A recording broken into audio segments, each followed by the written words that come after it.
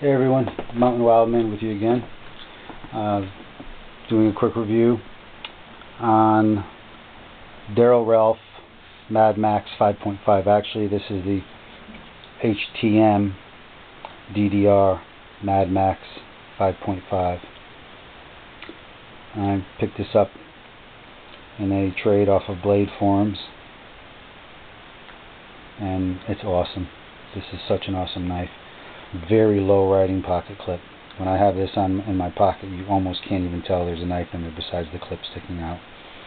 It is all titanium frame, both sides, with a uh, textured carbon fiber scale to add some grip to it as well as style.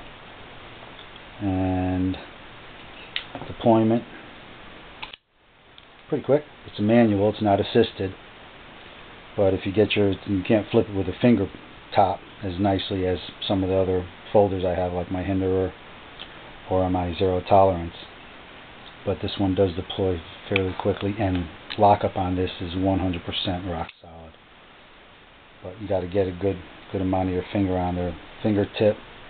Hey, it worked. I guess I'm loosening it up a little. This was, uh, best I could tell, brand new when I got it in the box and uh,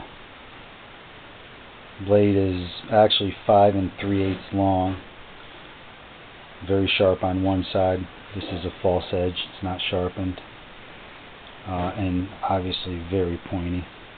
I suppose if there ever were such a thing as zombies and you had to jam this through a zombie skull you'd have no problem. This will go right in. Probably come out the roof of his mouth.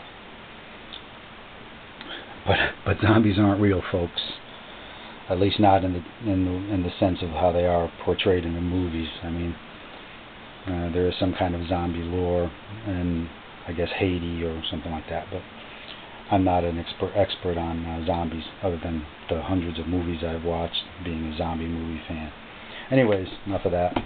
So there you are, Madd Maxx 5.5, awesome knife. I was considering trading or selling this, but I wanted uh, this particular model years ago when Darrel Ralph first introduced them, and he had offered at that point, or was going to be offering a seven-inch blade, and uh, which would probably be like a small folding broadsword practically. But I had wanted one of those, um, but they weren't available yet, and when they were, I just didn't have the money to take advantage of it. But this is really an awesome knife, and I think I'll be keeping this one. This would be a good knife to have around. I'll be moving to a state soon that doesn't have a blade limit law, so I could actually carry this and not worry about it being confiscated. Oh, see, it didn't flip all the way. I'd have to worry about confiscation or anything along those lines. But you do have to give it a good pull on that flipper to bring it out. But it opens fairly quickly considering the size of it. And uh, thickness, I'm not sure. This is just a quick video. I haven't taken measurements on you know exact specifications for you. There it is, Madd Maxx HTM dash DDR Madd Maxx 5.5. Alright. Thanks for watching. Mountain Wild Man. Talk to you later.